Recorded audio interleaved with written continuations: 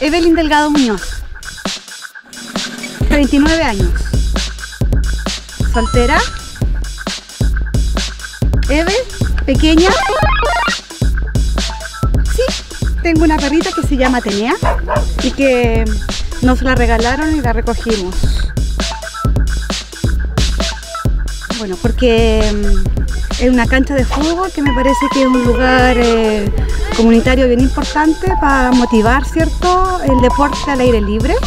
Porque además a mí me gusta el fútbol, yo juego fútbol. Soy la directora de Desarrollo Comunitario y hoy tengo un tremendo desafío en la comuna de Puerto Varas que es impulsar los procesos de participación a través, ¿cierto?, de la instalación de las mesas barriales y territoriales, poder entregar oportunidades a toda la comuna, eh, reconociendo la diversidad territorial, reconociendo que somos todos distintos, pero que podemos generar las mismas oportunidades.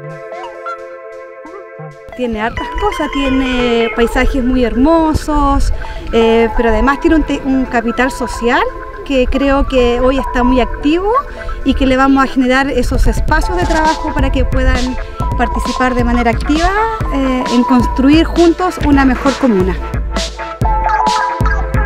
En nuestra primera salida al lago Todos los Santos fuimos eh, un fin de semana ¿cierto? a reunirnos con las comunidades y nos tocó unas condiciones climáticas bien difíciles y nos tocó ir donde nuestro amigo Carlos Jeffy y tuvimos que subir un tremendo cerro. Entonces, con mi amigo Esteban, caminamos, caminamos súper bien, íbamos primero y de repente vemos que ¡pum!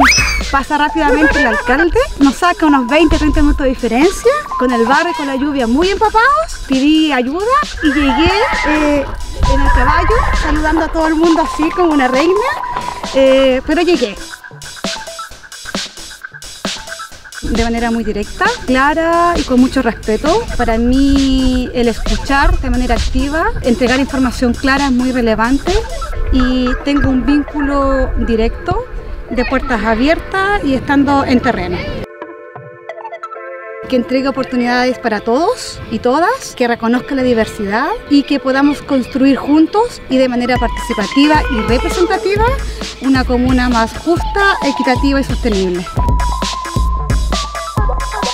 Propongo que conozcamos la historia de Juan Fernández. Propongo a Julián Fernández. Propongo al cineasta Julián Fernández, a quien le tiro la madeja.